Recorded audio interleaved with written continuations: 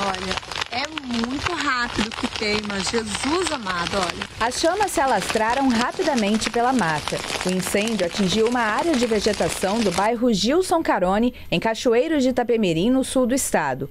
O Corpo de Bombeiros foi acionado no fim da tarde desta segunda-feira. A ocorrência entrou para a gente ontem, logo após o almoço, no início da tarde.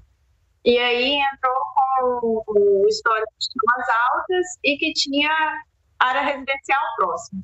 Prontamente a guarnição se deslocou, é, ao chegar no local identificou de fato as, as chamas estavam muito altas, iniciou um combate direto, depois a guarnição ela, ela continuou o combate morro acima, né, com abafador e, e bomba costal, e ao final, no final do morro tinha um muro de pneus que separava né, a, a via da, da área residencial. Na segunda, em Colatina, também houve incêndio em uma área de vegetação do bairro Vicente Soela. As causas dos dois incêndios são investigadas. Somente área de mata, não houve vítimas e nem casa atingida. Em Taboazeiro, Vitória, um novo foco de incêndio foi registrado na manhã desta terça-feira. Durante a tarde, fumaça ainda saía da área de mata.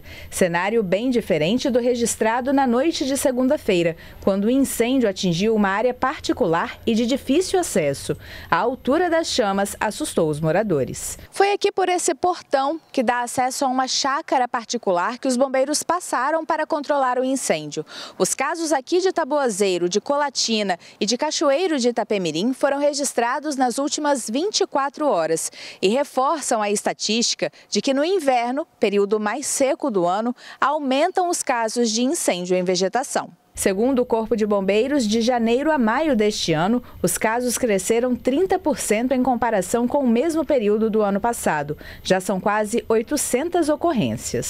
É muito importante a, a participação da, da população, como, por exemplo, é, descartar o lixo corretamente, nunca coloque, nunca queime lixo ou resíduos em área de vegetação. O descarte também é, de bitucas de cigarro em locais devidos,